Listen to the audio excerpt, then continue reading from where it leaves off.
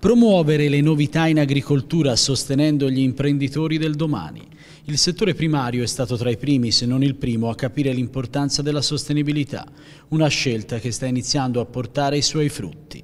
Anche per questo Fondazione CR Firenze e Accademia dei Georgofili hanno deciso di insignire tre giovani laureati del titolo di ambasciatori delle innovazioni in agricoltura, attraverso un bando che prevede l'assegnazione di altrettante borse di studio portarli su delle loro proposte nei confronti della città è una cosa importante e anche quelli di farli partecipare a un settore come l'agricoltura che è quindi un settore primario ma un settore quasi dimenticato nei confronti dei giovani, è sicuramente una cosa molto importante. 120.000 euro le risorse messe a disposizione dalla Fondazione, le borse di studio saranno invece assegnate dall'Accademia, la più antica istituzione al mondo nello studio dell'agricoltura.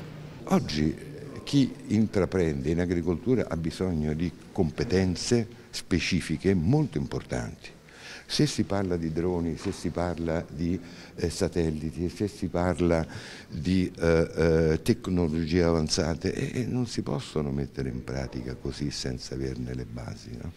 Questo è il punto.